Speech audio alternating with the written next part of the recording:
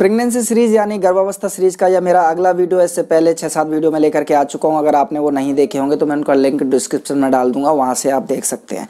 आज जो टॉपिक हम डिस्कस करने वाले हैं, वो अल्ट्रासाउंड के बेसिस पर डिस्कस करने वाले हैं कि कितने अल्ट्रासाउंड बेसिकली नॉर्मली जो गर्भवती स्त्री है, उसको करवाने चाहिए। तो सीधी बात नो सिर्फ़ काम की बात मैं डॉक्टर कौशलिन कुमार दुबे और आप देख रहे हैं मेरा यूट्यूब चैनल काम की बात मैं डॉक्टर कौशलिन दुबे। अगर अब तक आपने चैनल सब्सक्राइब नहीं किया तो प्लीज़ चैनल को सब्सक्राइब कीजिए। बेल आइकन का बटन दबाइए जिससे काम की बात सबसे पहले आपके पास पहुँचे। देखिए, सबसे पहले तो यह समझ लेते हैं, अल्ट्रासाउंड बेसिकली हम करवाते क्यों हैं? अल्ट्रासाउंड देख लिए, जो बेसिकली जो मेन पर्पज होता है अल्ट्रासाउंड का, सबसे पहला पर्पज ये रहता है, ये पता करना कि आप प्रेग्नेंट है कि नहीं है।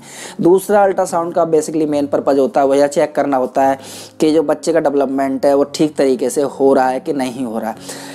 तीसरा जो मतलब एक कारण होता है जो अल्ट्रासाउंड करवाते हैं कि कोई डिलीवरी के ड्यूरेशन में कोई प्रॉब्लम तो नहीं आने वाली। मतलब जो आपके बच्चे में की जो गर्भ में पोजीशन है, वो किस तरह की है, कोई कॉम्प्लिकेटेड पोजीशन तो नहीं है, इसलिए भी अल्ट्रासाउंड हम करवाते हैं।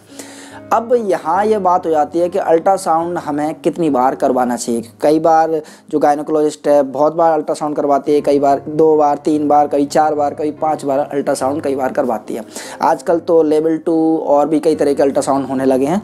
तो फिर यह सवाल लाजमी हो जाता है कि हमें अल्ट्रासाउंड कितनी बार करवाना चाहिए? अब हम बात कर लेते हैं प्रेगनेंसी को, जैसे तीन ट्राइमेस्टर में बांटा जाता है first trimester second trimester third trimester तो हर ट्राइमेस्टर का पर्टिकुलर एक जो विकास का जो सिस्टम होता है, वो रहता है, यानी ग्रोथ जो रहती है ग्रोथ जो चार्ट के हिसाब से कि फ़र्स्ट ट्राइमेस्टर में इतनी ग्रोथ होनी चाहिए, सेकंड ट्राइमेस्टर में इतनी ग्रोथ होनी चाहिए और थर्ड ट्राइमेस्टर में इतनी ग्रोथ होनी चाहिए। तो उसी हिसाब से भी अल्ट्रासाउंड हमें करवाने चाहिए। तो फ़र्स्ट ट्राइमेस्टर में हम क्या बेसिकली चेक किया जाता है तीन महीने के बाद? यह चेक किया जाता है कि हार्ट बीट आई है कि नहीं आई है, उसके अंग प्रॉपर बन रहे हैं कि नहीं बन रहे हैं। तो बेसिकली हार्ट बीट का यहाँ कॉन्सेप्ट रहता है कि हार्ट बीट प्रॉपर आई है कि नहीं आई है। ब्रेन का डेवलपमेंट आपका जो कार्ड जो बर्टिब्रा का डेवलपमेंट इस ड्यूरेशन में हो लेता है। तो इन चीज़ों को चेक करने के लिए हम जो है पहला पहला अल्ट्रासाउंड करवाते हैं।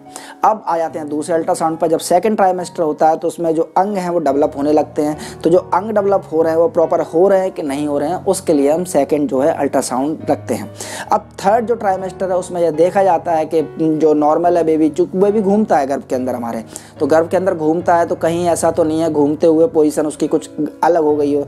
ड्यूरिंग डिलीवरी मतलब कोई कॉम्प्लिकेशन तो नहीं होने वाला। तो इस तरह से थर्ड ट्राइमेस्टर में हम अल्ट्रासाउंड करवाते हैं। तो बेसिकली जो अल्ट्रासाउंड का मेन जो कॉज होता है, वो है चेक करना है कि कुछ भी एबनॉर्मल तो नहीं हो रहा पेट के अंदर, गर्भ के अंदर, जो कि बाद में आपको दिक्कत करे। यानी कि यहाँ क्लियर हो जाता है कि सामान्य कंडीशन में जो होता है, तीन अल्ट्रासाउंड सफिशियंट होते हैं। गायनोकोलॉजिस्ट जो अच्छे गायनोकोलॉजिस्ट होते हैं, सामान्यतः तीन ही अल्ट्रासाउंड बेसिकली कराते हैं। अब ऐसे में क्या हो जाता है कि कई बार जैसे मैंने आपको बताया कि लेवल टू अल्ट्रासाउंड का आजकल जमाना मतलब आजकल टेक्नोलॉजी चेंज हो रही है तो लेवल टू में क्या होता है कि अलग अलग अंग को भी मतलब चेक करते हैं कि अलग अलग अंग की ग्रोथ जो है, जैसे आजकल डेवलपमेंटल डिसऑर्डर्स हैं, ये सब चीज़ें होती हैं तो वो भी पहले से पता कर लेते हैं, जिससे कि अगर कुछ मेडिकामेंट या कोई ट्रीटमेंट के थ्रू अगर सही किया जा सके तो उसके लिए भी ये, अल्ट्रासाउंड कराए जाते हैं। यानी कि यहाँ चौथा अल्ट्रासाउंड हो गया, लेवल टू अल्ट्रासाउंड। कई बार क्या होता है कि डिलीवरी से पहले भी एक दो अल्ट्रासाउंड करके जो गायनोकोलॉजिस्ट है वो चेक करती है कि ड्यूरिंग डिलीवरी पोजीशन क्या रहती है। तो उस समय भी अल्ट्रासाउंड करने को कहते हैं। कई जो गायनोकोलॉजिस्ट हैं, वो पंद्रह पंद्रह लास्ट के जो महीने हैं, उसमें पंद्रह पंद्रह दिन के बाद भी अल्ट्रासाउंड करवाने के लिए कहते हैं। यानी कि यहाँ बेसिकली कॉन्सेप्ट यह है कि तीन बार अल्ट्रासाउंड मिनिमम करवाने के लिए गायनोकोलॉजिस्ट कहते हैं और उसके बाद के जो अल्ट्रासाउंड ने कितनी बार करवाना है, ये पर्सन टू पर्सन वेरी करता है। अगर कोई प्रॉब्लम गायनोकोलॉजिस्ट फील करता है, तब वो अल्ट्रासाउंड करवाता है। अगर नहीं है कोई प्रॉब्लम तो अल्ट्रासाउंड करवाने की ज़रूरत नहीं होती। तो अगर कोई गायनोकोलॉजिस्ट आपसे हर तीन महीने के बाद अल्ट्रासाउंड करवाने के लिए कह रही है तो आप ज़रूर करवाइए अल्ट्रासाउंड क्योंकि इसमें कुछ भी गलत नहीं है। अल्ट्रासाउंड का, अभी हाल फ़िलहाल तो किसी भी रिसर्च में इस वाली बात का खुलासा नहीं हुआ है कि अल्ट्रासाउंड करवाने से बेबी को कोई भी नुकसान होता है। पर कोई भी जाँच जो होती है, वो ज़्यादा, बहुत ही ज़्यादा फ्रिक्वेंटली नहीं करवानी चाहिए। लेकिन जो नॉर्मल जो ड्यूरेशन है, उतने ड्यूरेशन में अगर अगर अल्ट्रासाउंड कराए जाते हैं तो कोई भी दिक्कत नहीं है। तो उम्मीद करता हूँ वीडियो पसंद आया होगा तो वीडियो को लाइक कीजिए, शेयर कीजिए, और अगर आपके मन में कोई सवाल है तो कमेंट बॉक्स में पूछिए। उनके आधार पर मैं वीडियो लेकर के आने की पूरी पूरी कोशिश करूँगा उनके जवाब देने की भी आपको पूरी पूरी कोशिश करूँगा। नए वीडियो, नए टॉपिक के साथ आपसे फिर से मुलाकात होगी, तब तक के लिए चाहूँगा, जय हिंद।